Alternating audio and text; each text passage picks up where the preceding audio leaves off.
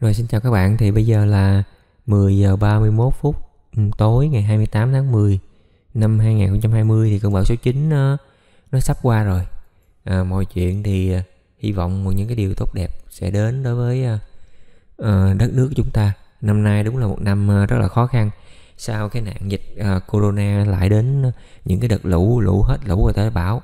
Mình tranh thủ làm cái video này buổi tối bởi vì ban ngày mình cũng có nhiều chuyện bận rộn quá thì đây là một bệnh nhân à, đã đến và mình mổ cho ông này à, à cách đây khoảng à, chính xác là khoảng à, 15 tháng rồi.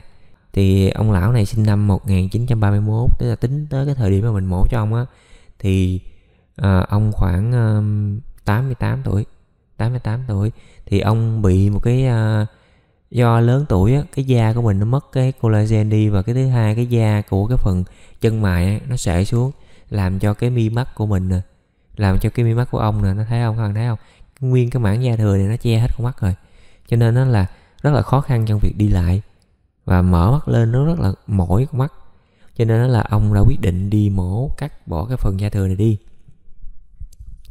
Thì à, nhưng mà tại vì à, ông quá là lớn tuổi cho nên là đi rất là nhiều chỗ người ta không dám nhận. Thực tế là như vậy ha.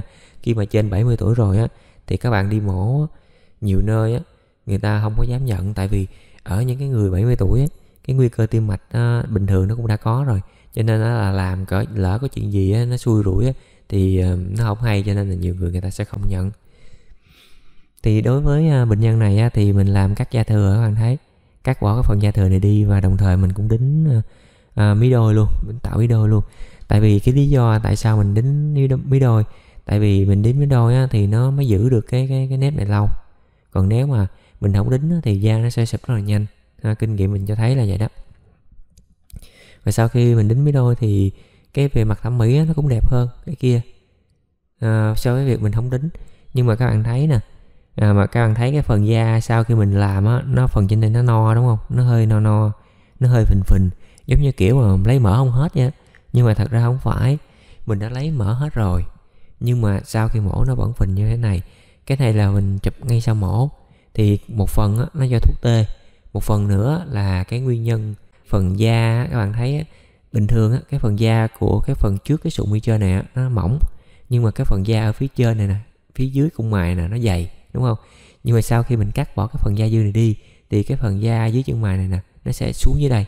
Đó các bạn thấy không? Cái phần da này là cái phần da ở dưới cung mày nè. Thì bản chất cái phần da của cái phần dưới cung mày này nó dày nó nó dày hơn cho nên là sau khi làm mình thấy vẫn nó nó vẫn no no như vậy đó. Chứ không phải là giờ mình lấy mỡ không hết ha. Và cái chuyện này thì à, trong à, sách uh, giáo khoa các bạn đọc cái phần mà double eyelid operation for the aging patient đó thì à, người ta cũng đã phân tích rất là rõ ha. Lý thuyết người ta đã làm thực tế rồi và người ta viết thành sách.